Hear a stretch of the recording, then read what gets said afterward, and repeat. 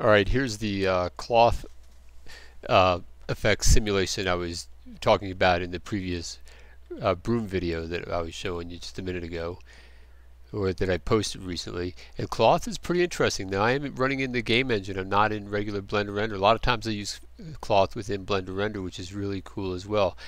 However they both have certain advantages.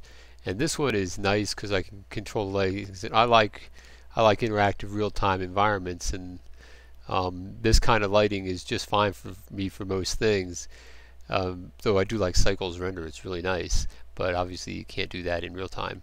So but it does interact with these objects and I was testing uh, the collision capabilities of this because you know sometimes your boundaries get a little bit too tight especially at this point at the top of this cone. I know I can drape this cloth over the cross the top of it and make it break through you know, and that's a good test right there. See that coming through like that. However, you know, if I make the boundary too great, then it, then the cloth looks like it's sitting outside of it and doesn't uh, doesn't really feel like it's interacting with it. Now let's see what happens with this more this egg-shaped looking sphere.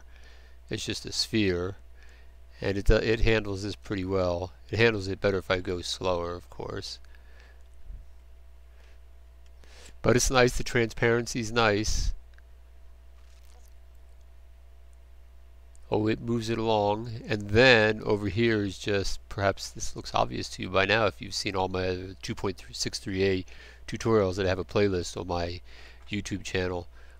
I have quite a few uh, Blender tutorials to help you get grounded in the basics, but this is a uh, this is a cube, yes, that has a multi-resolution modifier applied to it and that way for those of you who've seen that video you know you can easily select an edge loop or a face loop or and it really helps you control your editing a little bit better. In this case it doesn't matter. I'm just draping the cloth. Well I'm going to be using this cloth effect for some uh, other reasons in here but um, I won't be getting to the game engine tutorials for still a while because I have quite an extended list of tutorials I'm going to make.